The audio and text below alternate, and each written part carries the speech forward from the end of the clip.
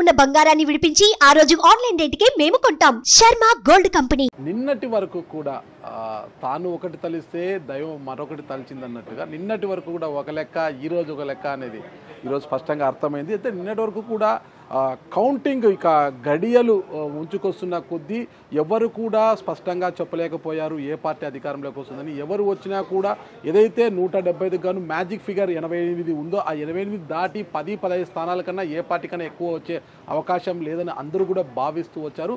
ఏ ఒక్కరు కూడా ఇలా వార్ వన్ సైడ్ అయిపోతుంది. ఒక సునామీ క్రియేట్ చేస్తుంది. కూటమి ఒక సునామీ క్రియేట్ చేస్తుంది. ఆ సునామీలో వైఎస్ఆర్ కాంగ్రెస్ పార్టీ కొట్టుకుపోతుంది అనేది ఎవరు అనుకోలేదు. చెప్పాలంటే అసలుకి ఫ్యాన్ రిపేర్కి వచ్చింది. ఇప్పుడున్న పరిస్థితుల్లో ఆ ఫ్యాన్ని రిపేర్కి తీసుకెళ్ళినా కూడా ఆ దాన్ని రిపేర్ చేయడము కష్టతరము అని అందరూ కూడా చెప్పేస్తున్నారు. మెకానికల్ అందరూ కూడా ఫ్యాన్ని రిపేర్కి తీసుకెళ్తే ఇది చాలా పాడైపోయింది. ఈ ఫ్యాను ఈ ఫ్యాన్ని మేము రిపేర్ చేయలేం బాబు. చాలా కష్టంగా ఉంది. కొత్త ఫ్యాన్ కొనుక్కోండి అంటున్నారంట. ఇది ఈరోజు జరుగుతున్న చర్చ ఇదంతా కూడా రాష్ట్ర వ్యాప్తంగా. అంటే ఒక్క ఓటమి ఒక్క ఓటమి ఎన్ని విమర్శలకు దారి తీస్తుంది? ఇన్ని విమర్శలు రావడానికి బలమైన కారణం ఏంటంటే సవాలక్ష చెప్పుకోవచ్చు. అంటే జగన్మోహన్ రెడ్డి వ్యవహార శైలి కావచ్చు. అంటే రెండు వేల పంతొమ్మిది వరకు ప్రతిపక్ష నాయకుడుగా ఉన్న జగన్మోహన్ రెడ్డి గారు ప్రజల్లో ఉంటూ నాయకులతో కావచ్చు కా కార్యకర్తలతో కావచ్చు ఎంతో సఖ్యతగా ఉంటూ ప్రతినిత్యం వాళ్ళతో ఎవరు వెళ్ళినా జగన్మోహన్ రెడ్డి గారు కలిసేవారు మాట్లాడేవారు. ప్రజల మధ్యలో పాదయాత్ర సందర్భంగా ప్రజల మధ్యలో ఉంటూ ప్రజలకు తల నిమరడము ముద్దు నుదుటి మీద ముద్దులు పెట్టడం ఇలాంటివన్నీ చూసి అందరూ కూడా ఉబ్బి తబ్బిపోయారు. జగన్మోహన్ రెడ్డి గారు ఇంత సాధారణంగా ఉంటారా? ప్రజలతో ఇంత కలిసిమెలిసి ఉంటారా? కార్యకర్తలకు ఇంత ప్రాధాన్యత ఇస్తారని అందరూ భావిస్తూ వచ్చారు. ఈ క్రమంలోనే రెండు వేల పంతొమ్మిదిలో పెద్ద ఎత్తున అందరి కలిసికట్టుగా నూట ఒక్క స్థానాలు జగన్మోహన్ రెడ్డి కట్టబెట్టి అత్యధిక మెజారిటీని ఇచ్చారు. ఆ తర్వాత జగన్మోహన్ రెడ్డి గారు అంటే తన తీరును మార్చుకున్నారా అన్నదే ఇక్కడ ప్రశ్న. అంటే ప్రజల వద్దకు నేరుగా రాకపోవడము తాడేపల్లి ప్యాలెస్కే పరిమితం అయిపోవడము కార్యకర్తలను పక్కన పెడితే ముఖ్యంగా ఎమ్మెల్యేలకు కూడా అపాయింట్మెంట్లు ఇవ్వకపోవడము ఎవరు కలవాలన్నా సకల శాఖ మంత్రిగా పేరుగాంచిన సజ్జల రామకృష్ణారెడ్డి గారిని కలసాల్సి రావడము ప్రతి నిర్ణయాన్ని కూడా సజ్జల రామకృష్ణారెడ్డి గారి మంత్రులు మాట్లాడాలన్నా కూడా సజ్జల రామకృష్ణారెడ్డి గారి నుంచి వెళ్ళే స్క్రిప్టునే వాళ్ళు మాట్లాడాలి. ఒకవేళ క్యాబినెట్ తీసుకునే నిర్ణయాలను కూడా సజ్జల రామకృష్ణారెడ్డి గారు వల్ల వేస్తుంటే పక్కన ఇద్దరు మంత్రులు నిలబడి అలా చూస్తుండిపోవడము. ఇలాంటి సమయాలు ఎన్నో కూడా నైరాశ్యానికి గురి చేశాయని చెప్పొచ్చు. ఒకనొక సందర్భంలో ఎమ్మెల్యేలంతా కూడా జగన్మోహన్ రెడ్డి గారు మమ్మల్ని పట్టించుకోవట్లేదు కనీసం మాకు అపాయింట్మెంట్లు కూడా ఇవ్వడం లేదు.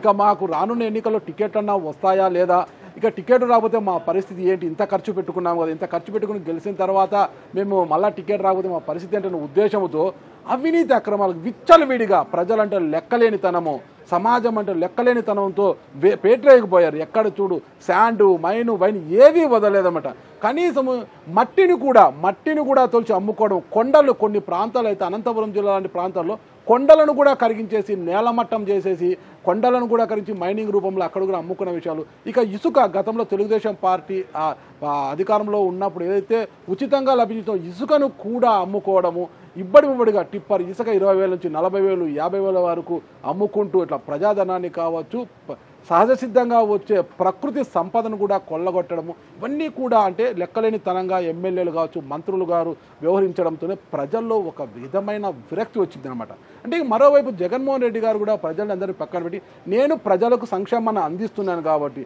దాదాపు రెండు లక్షల తొంభై వేల పైచలకు కోట్ల రూపాయలను నేను ప్రజలకు డీపీటీ ద్వారా అందించాను.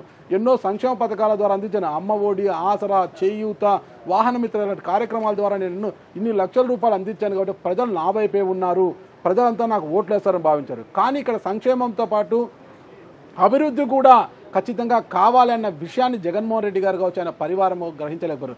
రెండు వేల నాలుగులో సంక్షేమాలకు ఆద్యుడు అంటే జగన్ రాజశేఖర రెడ్డి గారు చెప్పచ్చు. చెప్పొచ్చు రెండు వేల నాలుగులో రాజశేఖర రెడ్డి గారు పెట్టిన సంక్షేమాల ముందు ఇవి ఎంత అనే చర్చ కూడా జరుగుతుంది. అంటే ఉచిత కరెంటు కావచ్చు రుణమాఫీ కావచ్చు ఆరోగ్యశ్రీ కావచ్చు ఫీజు రియంబర్స్మెంట్ ఇలాంటి ఎన్నో సంక్షేమ పథకాలు రాజశేఖర రెడ్డి ప్రవేశపెట్టి ఒకవైపు జలయజ్ఞము ద్వారా ప్రాజెక్టులను నిర్వహిస్తూ ఒక సంక్షేమాన్ని అమలు చేస్తూ మరోవైపు అభివృద్ధిని చేసి చూపించినప్పటికీ కూడా రెండు వేల తొమ్మిది ఎన్నికలు బొటాబొటి మీద I think it subject correct నూట యాభై నాలుగు స్థానాలు రావాల్సిన నూట యాభై ఎనిమిది స్థానాలు వచ్చాయనుకుంటాను. అప్పుడు అంత తక్కువ మెజార్టీతో కూడా ఆయన విజయాన్ని సాధించడం జరిగింది. అది ఒక విజయం కూడా కాదు అప్పుడు అది ఒక ఓటమిగానే ఆయన రాజశేఖర రెడ్డి గారు అంగీకరించి ఇంత సంక్షేమాన్ని ఇంత అభివృద్ధిని చేసినా కూడా ప్రజలు ఇంత తక్కువ మెజార్టీ ఇవ్వడాన్ని ఆయన జీర్ణించుకోలేకపోయారు.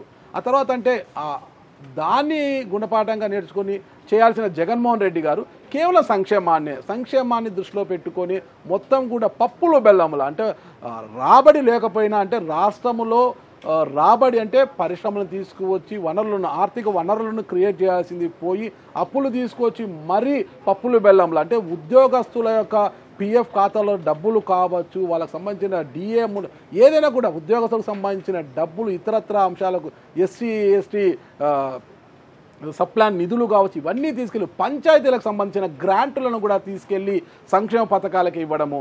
అంటే గతంలో టీడీపీ హయాంలో పనిచేసిన కాంట్రాక్టర్ బిల్లులు చెల్లించకపోవడము తనకు అనుయాయులుగా ఉన్న కాంట్రాక్టర్లకు బిల్లులు చెల్లించడము ఇలాంటివన్నీ చేస్తూనే ఎక్కడా కూడా అన్ని గ్రాంట్లను కూడా ముఖ్యంగా ఉద్యోగ సంఘ ఉద్యోగులకు సంబంధించిన పిఎఫ్ నిధులన్నీ కూడా సంక్షేమ పథకాలకు మళ్ళించి అభివృద్ధిని ఆమె దూరం పెట్టేసింటే రోడ్ల పరిస్థితి అధ్వానంగా ఉంది. ఏ రోడ్డుకు వెళ్ళినా ఏముంది గర్వకారణం అన్నట్టుగా ఎక్కడ ఉన్న మొత్తం గుంతలమయ్యనమాట అంటే సంక్షేమాన్ని చూస్తున్న జగన్మోహన్ రెడ్డి గారు అభివృద్ధిని చూడలేకపోయారనమాట అంటే ఈ ఇవన్నీ కూడా కారణం మరోవైపు సజ్జల రామకృష్ణారెడ్డి సకల శాఖ మంత్రిగా వ్యవహరించడము జగన్మోహన్ రెడ్డి గారితో కలవకు ఎవరిని కూడా కలవకుండా అంతా తానే అని వ్యవహరించడం కూడా ఒక కారణంగా తెలిసింది. ఈ కారణాలన్నీ మనం ఒకసారి పరిశీలిస్తే ఫైనల్గా మిగిలింది ఏంటంటే ఒక చేదు అనుభవం.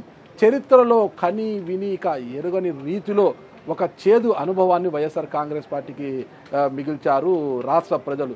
ఇంత సంక్షేమాన్ని జగన్మోహన్ రెడ్డి గారు చేసినప్పటికీ కూడా ప్రజలు కేవలం పదకొండు స్థానాలకే పరిమితం చేశారు.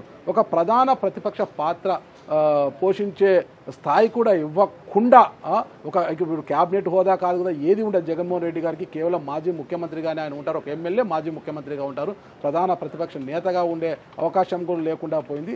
దీన్ని బట్టి ఇప్పటికైనా జగన్మోహన్ రెడ్డి గారు సత్యాన్ని గ్రహించి తిరిగి నాయకులతో కావచ్చు ఉన్న ఎమ్మెల్యేలను ఇప్పటికీ ఉన్న నాయకులను కాపాడుకుంటూ మళ్ళా వాళ్ళని దగ్గర చేర్చుకొని ముందుకు పోతారా లేదా ప్రకారము ఆయన ఇలాగే వ్యవహరిస్తారా అన్నది కూడా వేచి చూడాల్సిన అంశంగా ఉంది. ఫైనల్గా ఇది ఒక్క విషయం చెప్పాలి. అయితే ఓటమికి ప్రధాన కారణంగా అందరికీ కూడా సజ్జల రామకృష్ణారెడ్డి గారినే చూపిస్తున్నారు. ఆయనే ప్రధాన పాత్రధారిగా చూస్తున్నారు ఇక్కడ సజ్జల రామకృష్ణారెడ్డి గారి పార్టీ ఓటమికి ప్రధాన కారకులు అన్న విమర్శలు పెద్ద ఎత్తున వినిపిస్తున్నాయి. దీనికి మన సజ్జల రామకృష్ణారెడ్డి గారు ఇప్పుడు కాకపోయినా కనీసం వారం రోజుల తర్వాత ఒక ప్రెస్ మీట్ పెట్టి ఎలాంటి వివరణ ఇస్తారు అన్నది కూడా మనం వేచి చూడాల్సిన అంశంగా ఉంది.